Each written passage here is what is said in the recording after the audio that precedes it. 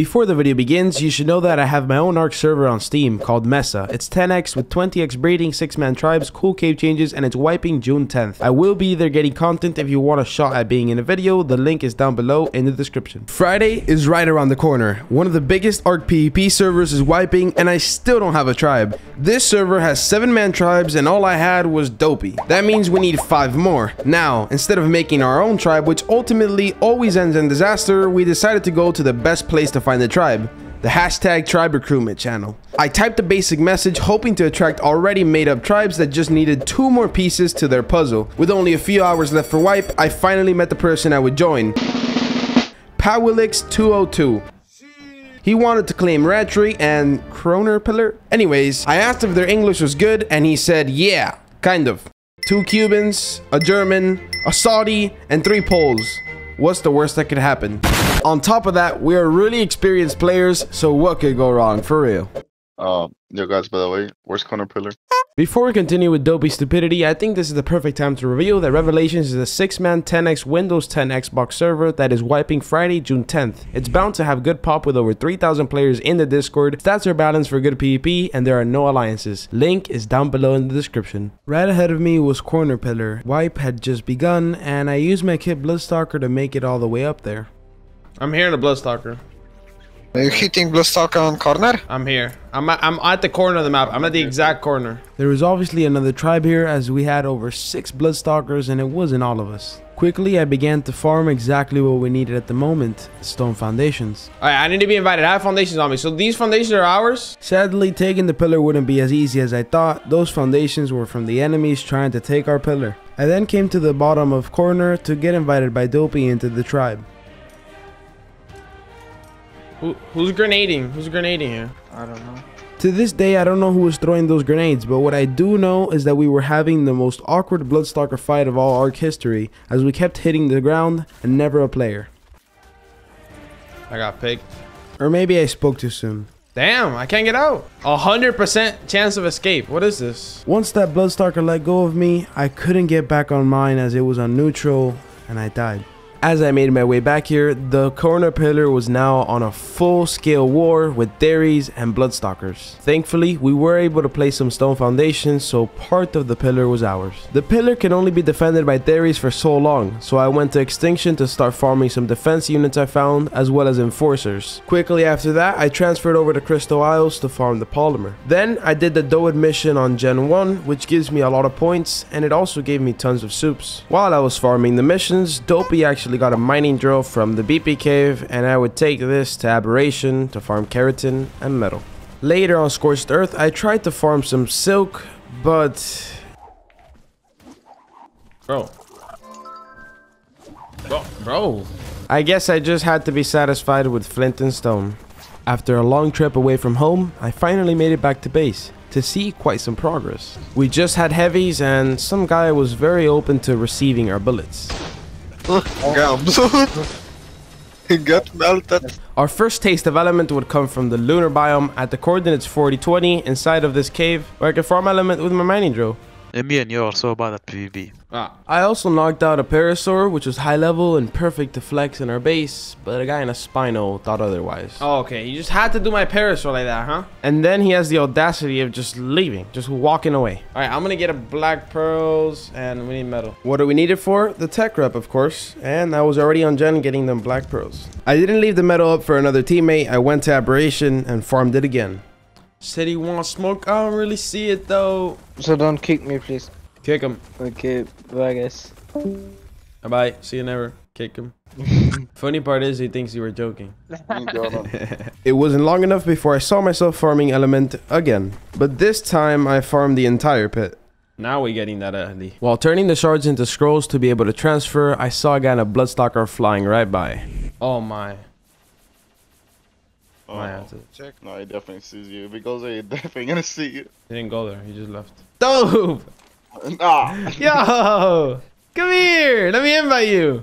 Dope. You ever f the girl with asthma? After hours of productive work, it was time to do Lava Golem. Alright guys, so look at the velo that Adobe brought. He bought a level 130 and it was originally level 80. After 3 hours inside of Golem with a velo with 5% melee, we finally killed the Golem and of course there were people fighting outside. Before the fight began, we had already lost as we were so clueless that we were using nets when they were disabled on players. What? How did I not net them? Eventually their cat Fabi shredded my prim legs during the naked walk of shame back to base, I then realized something. You can't net players in this, by the way. Can I say that earlier? No, I just realized because I, I netted and it didn't work. Tell them no, we just gave our kid away. I then went back to farming and something relatable happened. At least I hope it's relatable. For the turrets. Okay, bro. Okay. Of course. Luckily, I came back in a Bloodstalker and I was able to recover my body full of polymer. Alright, I got my body back. One in Chris Damon. Bro, can you do something? Like, stop telling me what we need. the next thing I would do is go farm crystal, but not because Dopey told me to. There, oh, there's people farming. Oh, I have three shotgun shells. What do I do? I'm. Oh, they, they. I think they've, they, they've learned of my presence. One, two. Okay, now you look. Oh, there. he- All right, there. He's put in the work. What was supposed to be another normal day farming crystal turned out to be a Therizino versus Spino versus RG fight, so thanks Elite. I felt on top of the world as I clapped the Spino, but then an Ember Wyvern came and it piped me the f down, so I went back to base. I was looking for stegos in the lunar biome, and then notifications of death started popping in, so I knew something was wrong at base. At first, I was very confused and didn't know where the attack was coming from, but it didn't take long to figure that out. Hello, how are you? I am under the water. First, I tried to take him down with my shotgun skills. I figured that wouldn't work as fast as demoing everything around him and having the turrets shoot him. There, he's dead, he's dead, he's dead, he's dead. I got his kit. Just when I thought we were safe. Yep.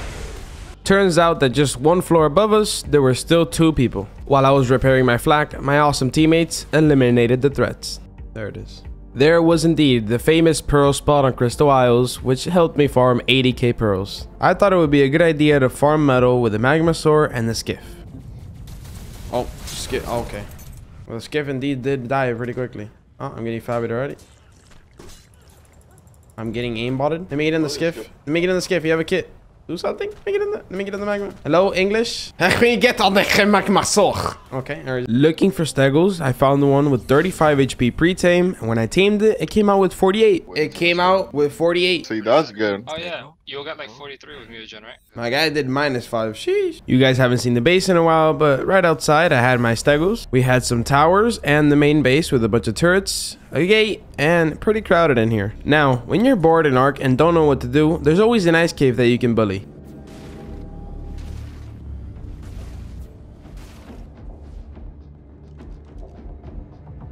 Bruh, bruh, bruh, come on. I acted like the flamethrower was really hurting me to bait him to my mantis. Knocked his ass out. I planned on having him knocked out for a bit, but out of nowhere he just died. What? For a while I had some fun toying around with them with my Fabby while they just kept flame spamming trying to kill me. Bro, you guys are getting dominated by one kid with a flamethrower. How's it feel? How's it feel? How's it feel? I even got it back, you nut. Get out of here. They tried putting a heavy outside to bother us, but I quickly took it down. After I got bored, the guy who actually lives in there hops in a call with us. His name's LKO, and he taught me a new meta for Golem, Tech Shield. Every time the golem threw a rock at me, it would rebound right back to it, dying to its own flame. The best thing I got out of this was a stego BP.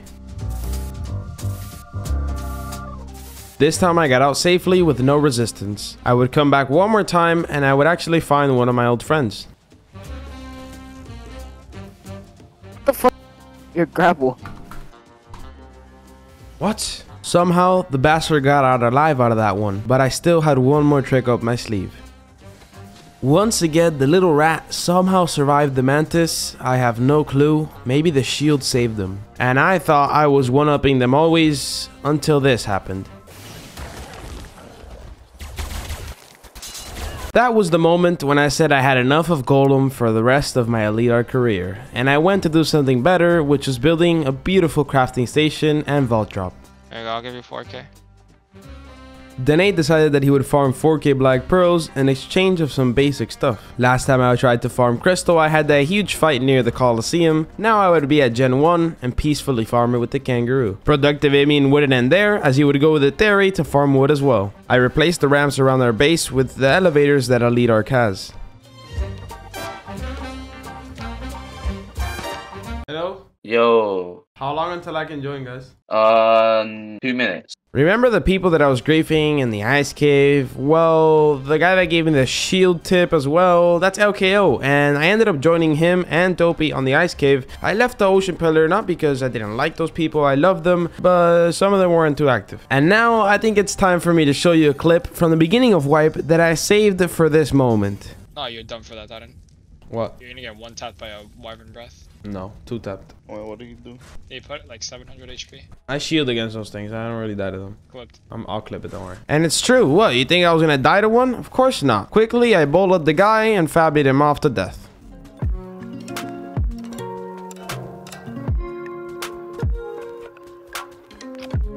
Well, I had to reload quite a few times, but I got him. Now I just need to take down the cri-